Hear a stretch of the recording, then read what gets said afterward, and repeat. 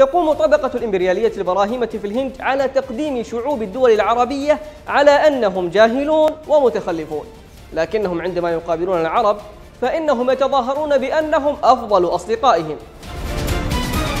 يعتقد هؤلاء الهندوس البراهمة أن مكة والمدينة هما مكان عبادة قديمين للهندوس وأن المسلمين احتلوا بالقوة الأماكن المقدسة الهندوسية في مكة والمدينة.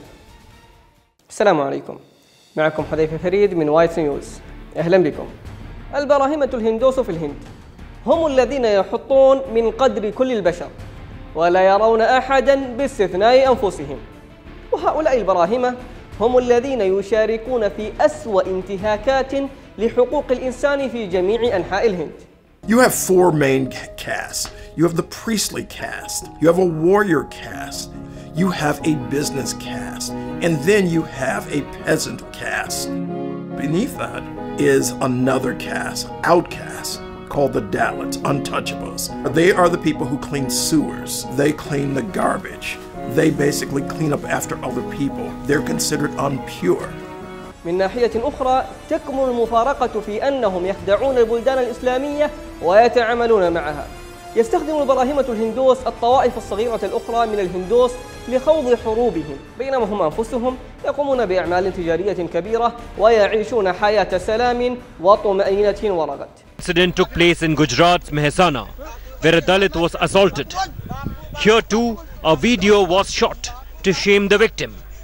His fault that he dared to show off Darbari etiquette, that he wore mojari shoes and a gold chain like the upper caste. تقوم طبقة الإمبريالية البراهيمة في الهند على تقديم شعوب الدول العربية على أنهم جاهلون ومتخلفون. لكنهم عندما يقابلون العرب فإنهم يتظاهرون بأنهم أفضل أصدقائهم. قتلت أيديولوجية راشتريا سوايامسيفاك سانغ والتي تقود الحزب الهندوسي المتطرف الحاكم BJP منذ عام 2015 وجرحت عشرات المسلمين المتهمين ببيع وذبح لحوم البقر. Cow is uh, Article 48 of the Constitution. And this was debated in the Constituent Assembly and included on the grounds that uh, cow is a special animal and therefore Article 48 says that there shall be a ban on the slaughter of cows. لقد منع البراهمة الهندوس المسلمين من ذبح الأبقار في الهند Once again, the Beef Brigade has taken law in its own hands in this country. This is one of several viral videos showing violence by so-called cow vigilantes in India. A resident of Haryana's Mewat district was transporting two cows in his vehicle when he was beaten to death. يتم تصدير منتجات هندية بقيمة 28.6 مليار دولار إلى الأمارات. أبرزها الأرز والمجوهرات. ويصدر البراهمة الهندوس أرزا بقيمة 4.4 مليارات إلى المملكة العربية السعودية والكويت وقطر. وتكسب الهند مئات الملايين والمليارات من الدولارات في مقابل هذا التصدير. وتقوم بعدها بإنفاق ملايين المليارات من الدولارات على تصوير الدول العربية في شبه القارة الهندية على أنهم طغاة وأشرار ولصوص ومجرمون وقطاع طرق ومغتصبون.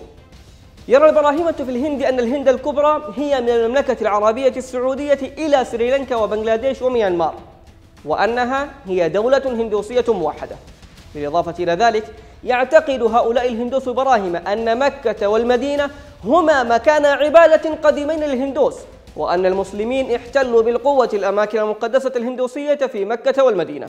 بدلا من أن يقوم الهندوس البراهمة في الهند بإنفاق الأموال على فقرائهم وطائفة الهندوس الصغيرة فهم يشترون باستمرار كميات هائلة من الأسلحة من إسرائيل ويتم استخدامها ضد المسلمين الكشميريين والمسلمين البنغاليين في آسام.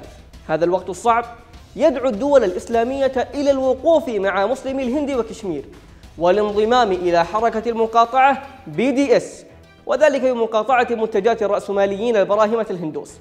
يجب على الدول الإسلامية أن توسع التجارة مع باكستان وذلك بدلا من شراء منتجات منخفضة الجودة مرتفعة السعر من الهند.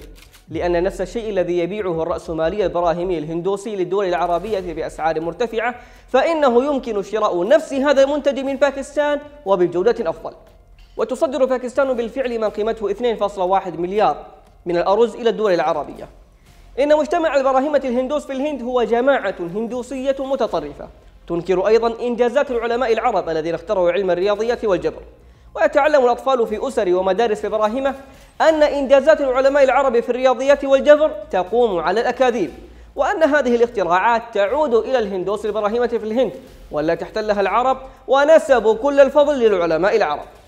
ينبغي على الدول العربية أن تكون حذرة من سياسة تشاناكية في الهند.